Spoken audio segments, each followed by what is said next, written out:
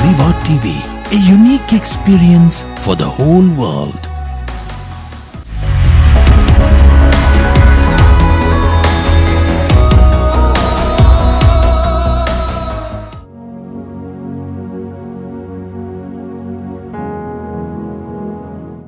ഈശോയെ പ്രിയമുള്ള സൗരീശ്വരന്മാരെ നമ്മൾ ധ്യാനിച്ച് ധ്യാനിച്ച് മുമ്പോട്ട് പൊയ്ക്കൊണ്ടിരിക്കുകയാണ് കഴിഞ്ഞ അഞ്ച് മാസമായിട്ട് നമ്മൾ കർത്താവ് തന്ന സന്ദേശം അനുസരിച്ച് പരിശുദ്ധാത്മാവ് തന്ന ഒരു പ്രത്യേക പ്രചോദനമായിരുന്നു. വെളിപാട് പുസ്തകത്തിലെ ഏഴ് സഭകളെ ആസ്പദമാക്കി ധ്യാനിക്കുവാൻ വേണ്ടി കർത്താവ് ഒരു സന്ദേശം തന്നു. അപ്പോൾ അങ്ങനെ ആ സന്ദേശത്തെ ആസ്പദമാക്കി നമ്മൾ ഓരോ സഭകളെ കുറിച്ചും ധ്യാനിക്കുകയായിരുന്നു. അപ്പോൾ ഇന്ന് നമ്മുടെ വെളിപാട് പുസ്തകത്തിലെ എല്ലാവർക്കും ബൈബിളൊക്കെ ഉണ്ടാവും ഞാൻ വിശ്വസിക്കുകയാണ്. വെളിപാട് പുസ്തകത്തിലെ നമ്മുടെ മൂന്നാം അധ്യായം ഒന്ന് മുതൽ ആറ് വരെയുള്ള വാക്യങ്ങളിലാണ് സർദീസിലെ സഭയെക്കുറിച്ച് പറയാം. പ്രിയമുള്ള സൗരി സൗരന്മാരെ സർദീസ് എന്ന് പറയുന്ന ആ വാക്കിന്റെ അർത്ഥം അവിടെ അങ്ങോട്ട് നമുക്ക് അങ്ങോട്ട് തുടങ്ങാം. അതായത് അവശിഷ്ടം അല്ലെങ്കിൽ രക്ഷപ്പെട്ടവർ എന്നൊക്കെയുള്ള അർത്ഥത്തിലാണ് സാർദീസ് എന്നുള്ള ആ പദത്തിന്റെ അർത്ഥം നമ്മൾ ബൈബിൾ ആഴത്തിൽ പഠിക്കുമ്പോൾ മനസ്സിലാക്കുക. അപ്പോൾ നമ്മൾ ഒരു ശിഷ്ടഭാഗത്തെക്കുറിച്ച് ഇസ്രായേൽ ജനത്തിന്റെ ഒരു ശിഷ്ടഭാഗം അവശേഷിക്കും. അതിൽ നിന്നും ഒരു മുള ആ മുളയാണ് ദാവീദിന്റെ വംശത്തിൽ ജനിക്കാൻ പോകുന്ന ഈശോ എന്നൊക്കെയുള്ള സൂചനകൾ പഴയ നിയമം മുതൽ നമുക്ക് കാണുവാൻ പറ്റും. ഇവിടെയും ഏതാണ്ട് അതേ ഒരു സൂചനയാണ് നമ്മൾ കാണുക റമനറ്റ് എന്ന് വെച്ചാൽ അവശിഷ്ട ഭാഗം.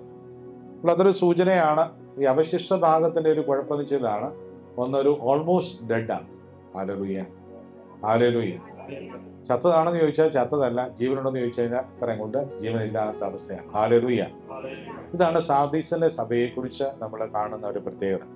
അപ്പോൾ അതിനു മുമ്പ് നമ്മൾ പറഞ്ഞിരുന്ന പല സഭകൾക്കും ഉണ്ടായിരുന്ന ഒരു വൈബ്രൻസ് അല്ലെങ്കിൽ ഒരു ഉണർവ് ഒരു ഉന്മേഷം ഒരു ജീവസുറ്റ അവസ്ഥ പലപ്പോഴും സാർദീസിലെ സഭയ്ക്കില്ലായിരുന്നു എന്നുള്ളതാണ് സാർദീസ് സഭയെക്കുറിച്ച് ഈശോ ഒരു പക്ഷേ ഇച്ചിരി കഠിനമായിട്ട് സംസാരിക്കുന്ന ഒരു സഭയാണ് സാർദീസിലെ സഭ. ഹാലലുയ്യ ഹാലലുയ്യ നമ്മൾ അതിന്റെ ജോഗ്രാഫിക്കൽ ഫീച്ചേഴ്സിനെ കുറിച്ച് നമ്മളൊന്ന് കാണുകയാണെങ്കിൽ ഇപ്പോൾ നമുക്കറിയാം നമ്മുടെ ഇവിടെ ഒരു ഒരു സംസ്ഥാനത്ത് ഭയങ്കരമായ വർഗീയ ലഹള നടന്നുകൊണ്ടിരിക്കുക എവിടെയാണ് ഇവിടെ പറഞ്ഞു? പറഞ്ഞു. ഭാരതത്തിലെ ഒരു സംസ്ഥാനത്തെ വർഗീയ ലഹള ഇതിൽ പത്രം വായിക്കുന്നുണ്ട്. എവിടാ? മണിപ്പൂര് അപ്പോൾ ഈ മണിപ്പൂര് വർഗീയ ലഹള നടന്നുകൊണ്ടിരിക്കുകയാണ്. അപ്പോൾ ഈ സാർദീസിനും അതുപോലെ തന്നെ ഈ പറഞ്ഞ മണിപ്പൂരിനും കുറെ സാമ്യങ്ങളുണ്ട്. ആലലുയ്യ ആലലുയ്യ അതിന്റെ ഒരു പ്രത്യേകത എന്ന് പറയുന്നത് ഈ ഒരു സിറ്റിയുടെ ട്വിൻ സിറ്റി എന്നാണ് പറയുന്നത് സർദീസ് എന്ന് പറയുന്നത് ട്വിൻ സിറ്റി. ഒന്ന് താഴ്വാരകളിൽ ജനങ്ങൾ തിങ്ങി വസിക്കുന്ന ഒരു താഴ്വാരം ബിസിനസ്സിനൊക്കെ കേന്ദ്രമാണത്. അപ്പോൾ അവിടെ കേന്ദ്രീകരിച്ച ഒരു പട്ടണമുണ്ട് ഹാലരൂയ ഹാലരൂയ അതുപോലെ മലമുകളിൽ ഒരു പീഠഭൂമി പോലെയുണ്ട് അവിടെയും ഒരു പട്ടണമുണ്ട് ഹാലരൂയ അപ്പോൾ ഇത് മണിപ്പൂരുമായിട്ട് നമ്മൾ താരതമ്യം ചെയ്യുമ്പോൾ ഏതാണ്ട് ഈ ഇവിടുത്തെ അവസ്ഥ തന്നെയാണ് മണിപ്പൂരിലും ഉള്ളത് എന്ന് നമുക്ക് കാണാൻ പറ്റും. അപ്പോൾ ബൈബിളിലെ ഉദാഹരണങ്ങളൊക്കെ നമ്മൾ പഠിക്കുമ്പോൾ നമ്മുടെ ദേശവുമായിട്ടും ഒക്കെ എന്തുമാത്രം ബന്ധപ്പെട്ട് കിടക്കുന്നു എന്നുള്ള ഒരു സൂചനയാണ്. ഇനി മലമുകളിലുള്ള ആ ആളുകളുടെ പ്രത്യേകത എന്ന് പറയുന്നത് അവിടെയാണ് കത്തോലിക്ക സഭയും മറ്റു ക്രൈസ്തവ സഭാ വിഭാഗങ്ങളും ഏറ്റവും ശക്തമായിട്ടുള്ളത്. ആലോചിക്കുക താഴ്വാരങ്ങളിൽ പട്ടണമുണ്ട് അവിടെ കോൺസ് അതായത് നിയമസഭാ മണ്ഡലങ്ങളുണ്ട്. പക്ഷേ എണ്ണത്തിന് ആനുപാതികമായിട്ട് മലമുകളിലുള്ള ആളുകൾക്ക് ജനപ്രാതിനിധ്യം ഇല്ല മനസ്സിലാകുന്നുണ്ടോ അപ്പോൾ മലമുകളിൽ വസിക്കുന്ന നമ്മുടെ പോലുള്ള ക്രിസ്തീയരായ ആളുകൾക്ക് ജനപ്രാതിനിധ്യം അസംബ്ലിയിൽ ഇല്ലാതെ വരുമ്പോൾ സ്വാഭാവികമായിട്ടും താഴ്വാരങ്ങളിലുള്ള അന്യമനസ്സർ രണ്ട് മനസ്സരാണ് അവിടെ പ്രധാനമായിട്ടുള്ളത്. ഒന്ന് ഇവിടുത്തെ ഭാരതത്തിലെ ഏറ്റവും പ്രബല മതം പിന്നെ ന്യൂനപക്ഷത്തിനകത്ത് ഏറ്റവും കറുത്ത ആർജിക്കുന്ന ഒരു മതമാണ് ഈ പറഞ്ഞ മണിപ്പൂരിലെ താഴ്വാരങ്ങളിലുള്ളത്. അപ്പോൾ ഇനി ഈ മുകളിലുള്ള മലമുകളിലുള്ള ആളുകളുടെ ദേവാലയങ്ങൾ സ്കൂളുകൾ ആതുരാലയങ്ങൾ തച്ച് തകർക്കുന്നു എന്നുള്ളതാണ് ഇപ്പോൾ അവിടെ നടന്നുകൊണ്ടിരിക്കുന്ന നാടകം. ഹാലലുയ ഹാലലുയ അപ്പോൾ അതേസമയം നമ്മൾ നോക്കിക്കഴിഞ്ഞാൽ നിയമസഭയിലെ ഭൂരിപക്ഷമുള്ളത് താഴ്വാരങ്ങളിലെ ആളുകളാണ്. അപ്പോൾ ഈ മലമുകളിലെ ആളുകളുടെ എണ്ണമനുസരിച്ച് അവർക്ക് കോൺസ്റ്റിറ്റ്യൻസി കൊടുക്കുന്നില്ല എന്നുള്ളത് അനീതിയുടെ ഒരു തലമാണ്. ഇതാണ് അവിടെ നടക്കുന്ന നാടകങ്ങളുടെ പിന്നാമ്പുറം.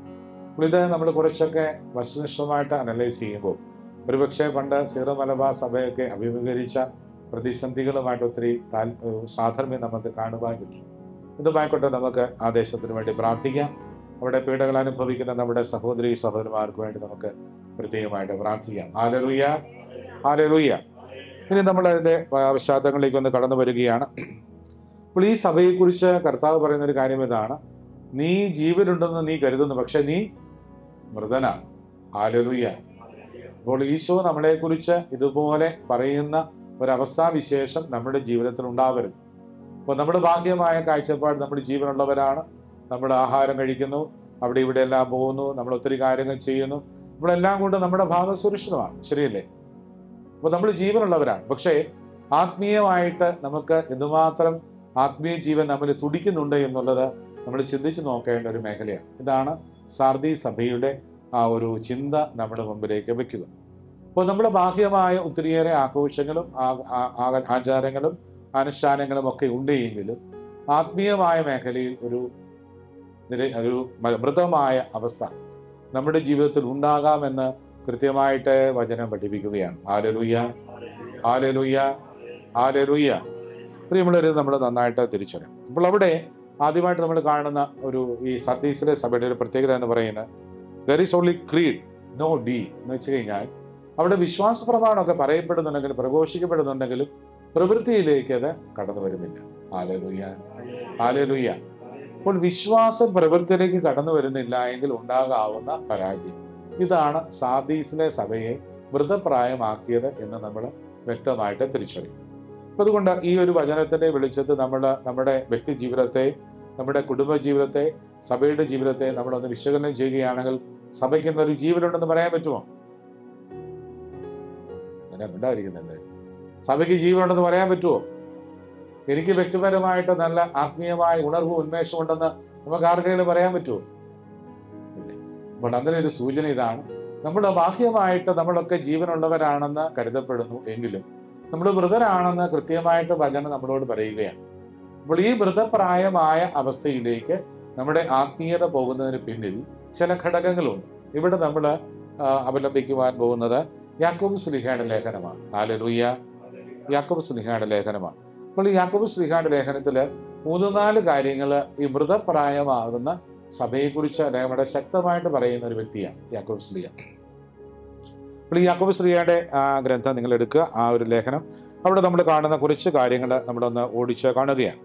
അപ്പോൾ ഒരു, യാക്കോബ് സ്ലിഹയുടെ ലേഖനം രണ്ടാം അധ്യായം പതിനേഴാം തിരുവത് പ്രവൃത്തി കൂടാതെയുള്ള വിശ്വാസം അത് തന്നെ നിർജീവമാണ്. ഹാലലൂയ്യ അപ്പോൾ പ്രവൃത്തികൾ കൂടാതെയുള്ള വിശ്വാസം അത് തന്നെ നിർജീവമാണ്. അപ്പോൾ നമ്മൾ വിശ്വാസ പ്രമാണം നമ്മളൊക്കെ കയറ്റി പറയുന്നുണ്ട് ചൊല്ലുന്നുണ്ട്. നമ്മൾ ഞായറാഴ്ച പള്ളികളിൽ പോകുന്നുണ്ട്. പക്ഷേ നമ്മുടെ ജീവിതം ഊർജസ്വലമാണോ? വിശ്വാസ ജീവിതം തീക്ഷ്ണതയുള്ളതാണെന്ന് ചോദിച്ചു കഴിഞ്ഞാൽ ഉദാഹരണം പറഞ്ഞാൽ നമ്മുടെ കോവിഡ് കാലത്തെ നമുക്കറിയാം ഒരു നിയന്ത്രണം ഉണ്ടായിരുന്നു. ദേവാലയത്തിൽ പോകരുത്. ഓക്കെ നല്ല കാര്യം. അപ്പോൾ നമ്മൾ ആ ഒരു സമൂഹം പറഞ്ഞ നേതൃത്വം പറഞ്ഞു നമ്മൾ അനുസരിച്ചു അപ്പം അതിനുശേഷം അന്നേരം നമ്മളൊക്കെ ഓൺലൈനിൽ കുർബാനകളെ പ്രൊവിഷൻ തന്നു ശരിയല്ലേ? നമ്മളൊക്കെ സന്തോഷമായിട്ട് സ്വീകരിച്ചു. അപ്പോൾ ആദ്യത്തെ ദിവസമൊക്കെ നമ്മൾ വളരെ ഭയഭക്തി ബഹുമാന ആദരവോടുകൂടി നമ്മുടെ ടി വിയുടെ മുമ്പിൽ അല്ലെങ്കിൽ മൊബൈലിന്റെ മുമ്പിൽ നമ്മളൊക്കെ വളരെ ഭക്തിയോടുകൂടി കുർബാനയെ സംബന്ധിച്ചു. നമ്മൾ പള്ളിയിൽ പോകുന്നത് തന്നെ കുളിച്ചൊരുങ്ങി ഒക്കെ ഫ്രഷായിട്ട് വന്ന് നമ്മൾ കുർബാനയെ സംബന്ധിച്ചു. കുർബാന സ്വീകരിക്കാൻ പറ്റില്ല. ശരിയാണ് അപ്പോൾ അങ്ങനെ കുറച്ച് ദിവസം അങ്ങോട്ട് കഴിഞ്ഞ് കഴിഞ്ഞപ്പോഴത്തേനും പിന്നെ രാവിലെ എഴുന്നേറ്റ് വരുന്ന പാടെ മുഖത്തൊക്കെ ഇച്ചിരി വെള്ളമൊക്കെ ഒഴിച്ചിട്ട് വന്ന് നിന്നു. അപ്പോൾ കിട ഇട്ട വേഷം എന്താണ് തലേദിവസം കിടന്ന ഇട്ട വേഷത്തിൽ തന്നെയാണ് നമ്മൾ വന്ന് കുർബാന നീക്കിയത് ശരിയാണോ അല്ലയോ? അപ്പോൾ അല്ല അല്ലേ? കൃത്യമായിട്ട് ചെയ്തിട്ടുണ്ട് അല്ലേ? അങ്ങനെ കൈവെക്കാമോ ഒന്ന് കൈവെക്കി ഒന്ന് കാണാൻ വേണ്ടിയാണ് അത്രയും കുറെ മനുഷ്യരൊക്കെ വിശ്വാസികളുണ്ട് ആലലൂയ്യ ആലലൂയ്യ അപ്പൊ അത്രയും മനുഷ്യര് കൃപയോടുകൂടി ജീവിച്ചു എന്നൊരു സൂചനയാണ് അപ്പോൾ നമ്മളിവിടെ കാണുന്ന ഒരു കാര്യം ഇതാണ്.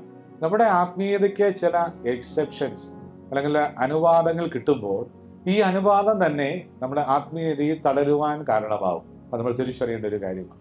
ആലലുയ്യ എന്തുകൊണ്ടാണ് സഭയിൽ ഈ സന്യാസമൊക്കെ ഇങ്ങനെ ശക്തമാകുന്നത്? അല്ലെങ്കിൽ ശുഷ്കിക്കുന്നത് എന്ന് ചോദിച്ചു കഴിഞ്ഞാൽ ഇത് സഭയുടെ ഒരു നിർജീവാവസ്ഥയുടെ സൂചനയാണ്.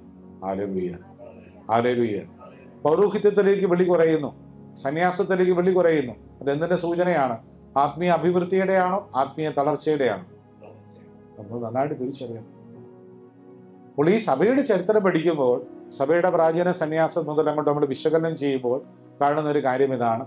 സഭ ഈ സന്യാസികളുടെ പ്രാർത്ഥന അവർ ഒരു പക്ഷേ ഒരുമിച്ച് കൂടി പ്രാർത്ഥിക്കുന്നു മരുഭൂമിയിൽ പോയി താമസിക്കുന്നു. നമുക്ക് നമ്മുടെ രൂപതയിൽ തന്നെ നമ്മുടെ സഭയിൽ തന്നെ നമ്മുടെ പ്രോവിൻസിന് കീഴിൽ തന്നെ പാലാ രൂപതയിലെ ഓക്സിലറി ബിഷപ്പ് എന്റെ ജൂനിയറായിട്ട് പഠിച്ച ബിഷപ്പാണ്.